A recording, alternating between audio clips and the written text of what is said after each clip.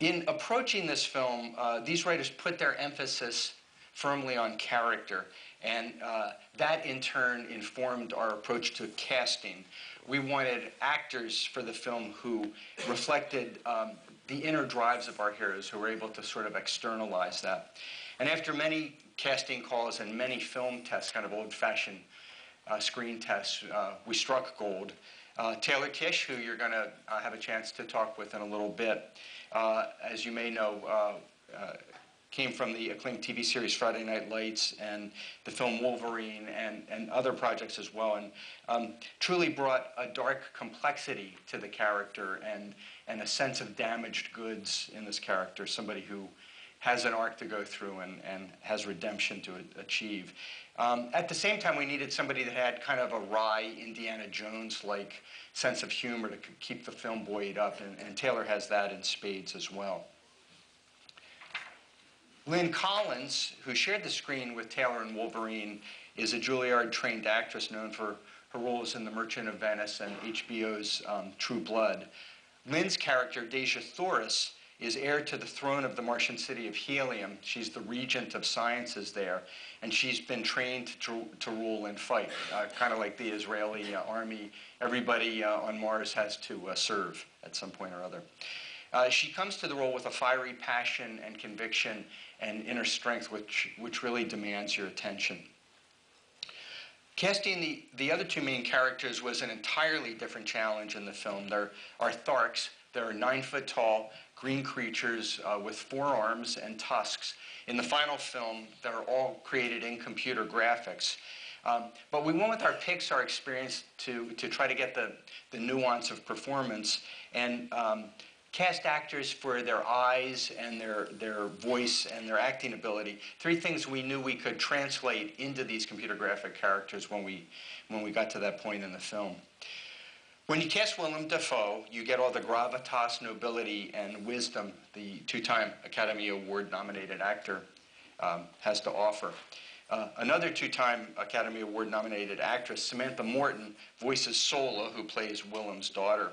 She brings a, a vulnerability and compassion to her Thark character, uh, making her unlike the rest of the, the Tharks, which are kind of a warlike and, and kind of barbaric bunch.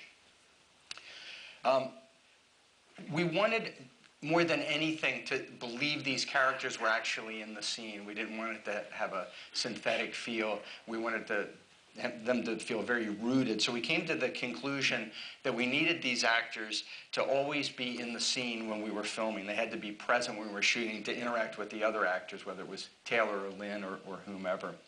So we had to convince them to do this task, which Amanda was saying, like, how would you like to wear gray pajamas and walk on stilts in the desert in 120 degrees? Uh, and um, they uh, actually said yes. I think they were intrigued by the fact we kind of came clean with them at the beginning. Uh, and also, I think it was an interesting role for them, uh, all of the actors that played these characters, just to kind of try a different mask on um, as an actor. The, uh, the result was really great from taking the time and effort to do this. Um, uh, it, I, I think, uh, made much better for performances for both the Thark characters and our human actors since they actually were playing off one another. Uh, in terms of things like eye lines and framing, uh, I think it helped our, our cameraman immensely. Um, so, so it, it, it, paid off. To, to capture the facial data, we wanted to capture facial data for reference for, for the animators. Um, we actually designed uh, tusk cams, so you can see the little cameras uh, uh, in that shot in the middle there. Um, they, they actually worked well for the actors since the final characters have tusks. It sort of served two purposes. It captured the data and kind of served as a prosthetic for them to act and know how they'd be looking and holding their head and so forth as they, as they went.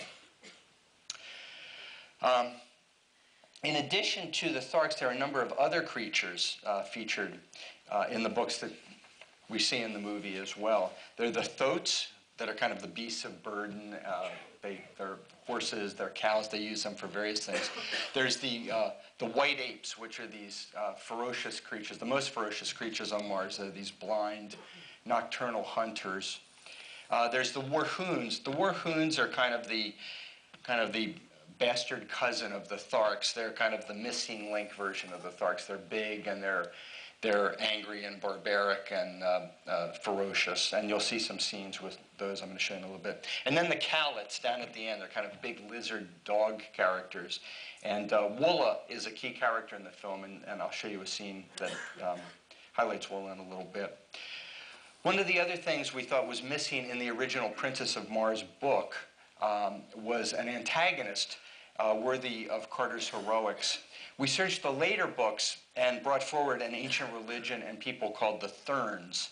And, and the Therns are kind of overarching bad guys in the movie. Mark Strong, we have playing Matai Shang, who is the leader of the Therns.